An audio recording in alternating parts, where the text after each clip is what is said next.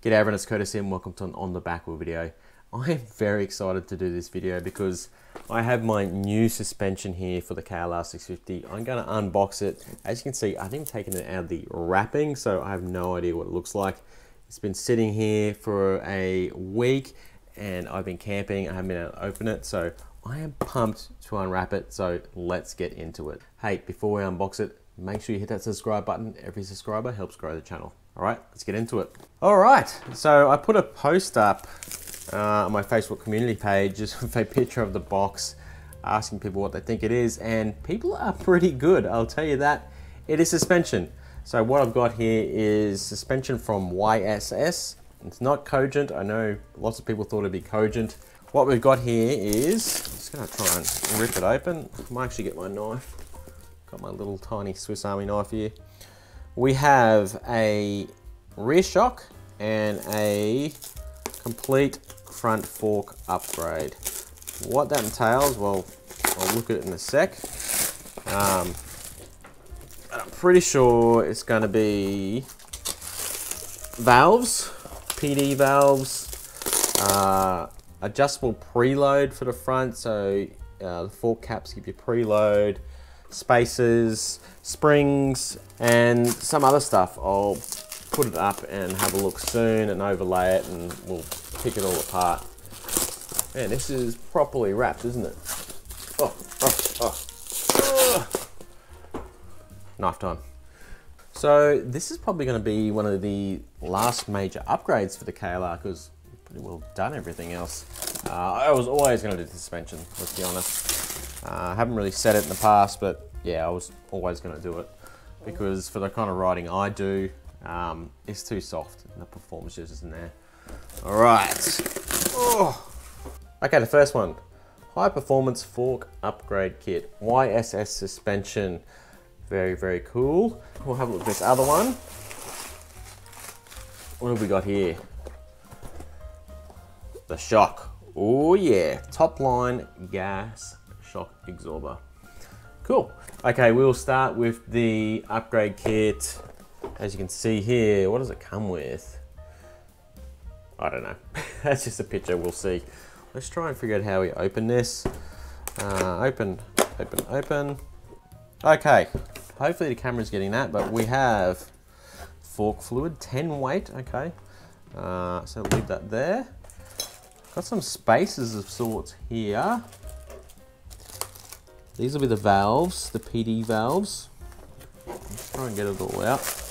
Nicely packed, I like how this is done. So let's just take one of these out.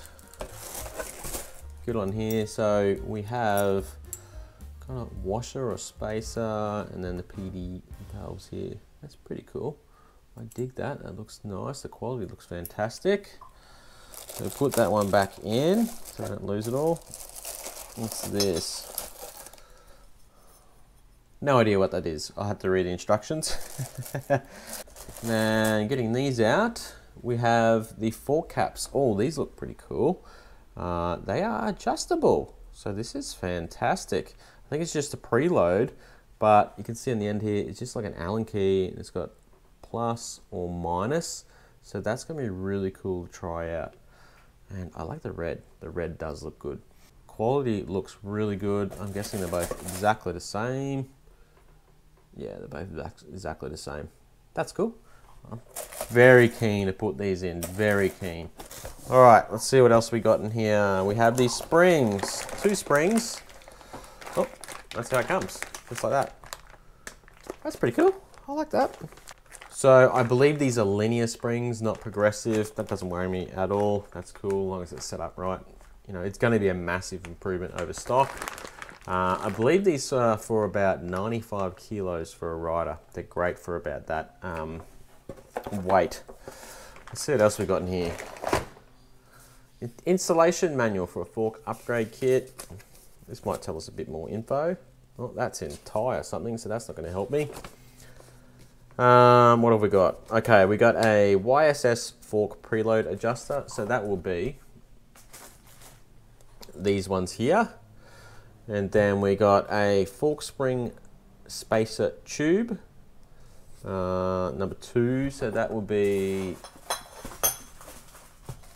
these here. Fork spring spacer tube. Number three, steel plate support spring. Oh, that will be, I'm guessing, that maybe. I'll have to have a look. Uh, and then next is your springs, and then the YSSPD fork valve. Cool. Uh, tools required will be a tape measure and fork fluid. Sweet, sweet, sweet. So I don't know if that won't be enough fork fluid. Surely I've got like, how much have I got here? 250 mil. We'll have to see. I'll read all the instructions when I do the install. So the plan is um, I'll do an install vid for the front and then an install vid for the shock and then I'll do a um, like initial review, first ride review on the suspension where I'll just go out for a ride my normal loop and see how it performs and adjust it as well and then in long term I'll do an overall review too. So that is the plan. Oh, this is all the install instructions. So actually looks pretty simple. I have never done it before, so this will be interesting.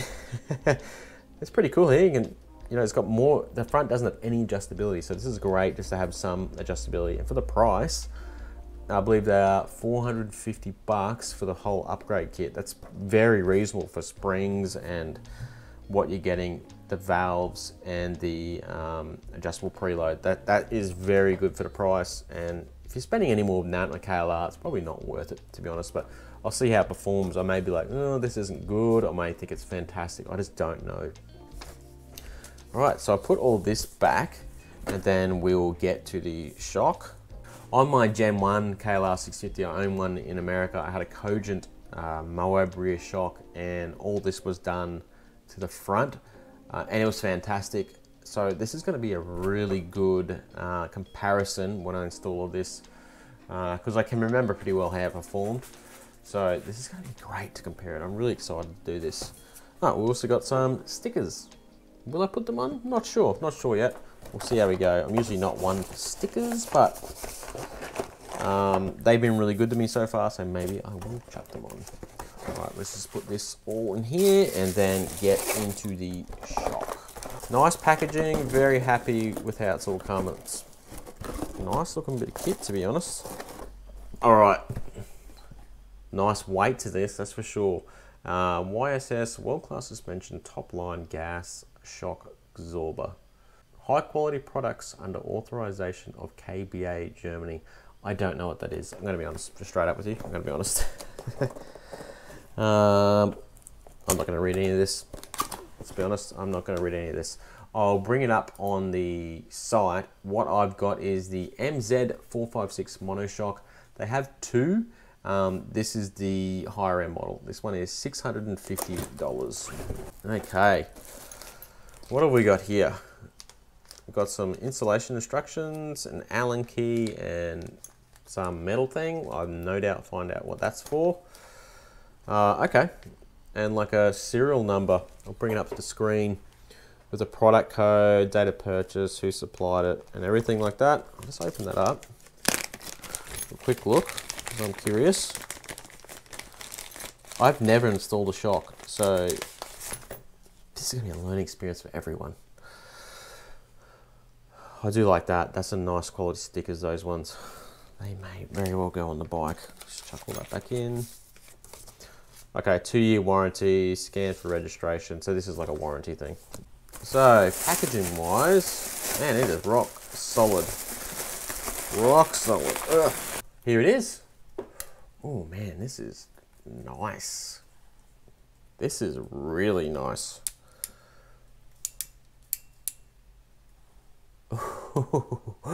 I'm way more impressed with this than the uh, fork kit. It just Look at the quality on this. It looks fantastic. Oh, the machine work looks great. Damn, I'm happy with this. Very happy. I like how the red looks. It looks fantastic. Uh, they got a sticker in here, the YSS sticker. That looks great too. The steel looks great. There's some weight to it. Definitely some weight to it. It'd be interesting to compare the weight to the stock spring when I take it out. Um, I'll compare them both, weigh this one and weigh the other one. All right, let's go over it. So what we've got on here, just a brief overview, is 45 millimeter radial piston, 16 millimeter hard chrome shaft. That sounds sexual, doesn't it? Um, so what I'll have to do when I install this is set the sag and everything as well by the looks of it. So I'll have to do that. Uh, we have some adjustment. We've got clickers on the bottoms. It has soft and where's the hard and hard so we're turning that way to go soft. Let's just go all the way in. I like the, how this works, it feels nice. And see how many clickers we got? We got one, go again. One, two, three, four, five, six, seven, eight, nine, 10, 11, 12, 13, 14, 15, 16, 17, 18, 19, 20, 21, 22, 23, 24, 25, 26, 27, 28, 29, 30, 31, 32, 33, 34, 35, 36, 37, 38, 38 clicks? When am I ever, ever going to use 38 clicks? Oh goodness, let's put it roughly in the middle and then we'll set up when we're riding the bike. But yeah, this is a shock. It looks absolutely fantastic. I am digging this, guys. So it'll sit like that, I imagine, with that at the back. Yeah, it should sit like that in the bike. And um, I'm super keen to install this and see how it performs. Oh baby, the quality looks fantastic. Stopper there is good. It's chunky, it's a chunky boy, a thick boy. Here's a little close up for everyone. Like look at the machine quality on this. It looks absolutely fantastic. I mean for, what is it, 650 bucks? The quality looks great. Hopefully it performs as well as it looks. Uh, from what they are saying, they expect performance to be very comparable to Cogent. So I am extremely keen to see if that's true. Because uh, the Cogent performed great, the one I had. 38 clicks, like, that's a lot. Yeah, I think the stock one has something like four turns, I think, from memory.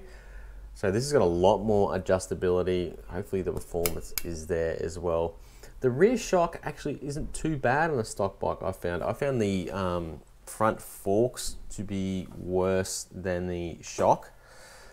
Um, the front forks really dive for me at times and just when you're doing harder off-road riding, let's bottom out. Just can't take big hits. It's not designed for that. It's very much a middle ground for slower riding, for cruisy adventure riding for gravel roads and stuff, not your harder off-road riding or faster off-road. So this kit here should be absolutely fantastic. I'm keen to see how it performs.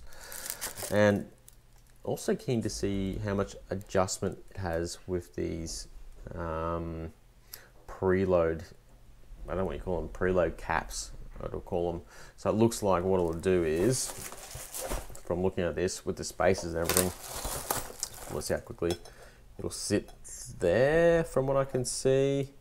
Um, then the spring goes below that and as you push it in or push it out, it'll just compress the forks a little bit more. Okay everyone, I'm going to wrap it up. If you have any questions about the YSS suspension, put them down in the comments below or send me a message on um, social media or an email and I'll get back to you. The quality looks fantastic. I'm super keen to see how much of an upgrade it is. I'm thinking it's going to be a really big upgrade. Um, the stock suspension is fine. It's completely fine, but this, ooh, baby, I'm excited.